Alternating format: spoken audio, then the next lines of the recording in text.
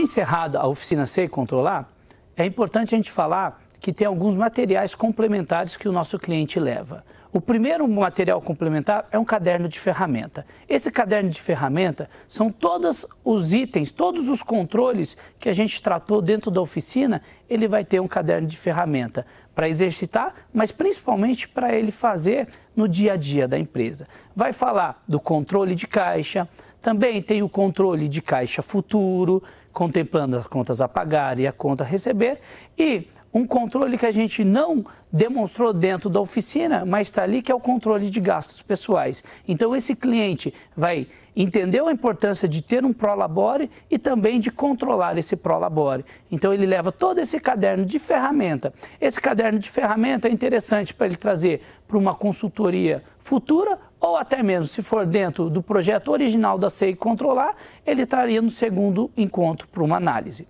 Além desse material, esse caderno de ferramenta, temos também uma cartilha complementar.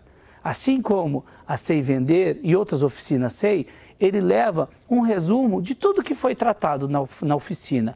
O, o, resumo do que, que é um controle de caixa e a sua importância, a importância também dos controles de caixa futuro. Então, é uma sensibilização posterior que ele leva.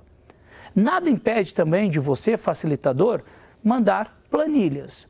Dependendo do público que está dentro da sua sala, tem muitos MEIs que vão trabalhar com o controle na caneta, fazendo no caderninho ou até mesmo nesse caderno de ferramentas que a gente comentou. Mas também tem alguns MEIs que têm o desejo de planilhas. Então, nada impede que você mande uma planilha de fluxo de caixa, ou até mesmo uma planilha de controle de vendas, as vendas à vista, as vendas no, nos cartões, e também é interessante, e eles sempre gostam, esse, uma planilha, planilha complementar de gastos pessoais, para ele fazer a gestão, além do dinheiro da empresa, a gestão pessoal. Porque a gente demonstra na oficina a importância dele separar o dinheiro pessoal do dinheiro da empresa, de como ele projetar e elaborar um prolabore. E com isso ele vai estar sensibilizado e principalmente vai ter uma ferramenta para fazer esse controle.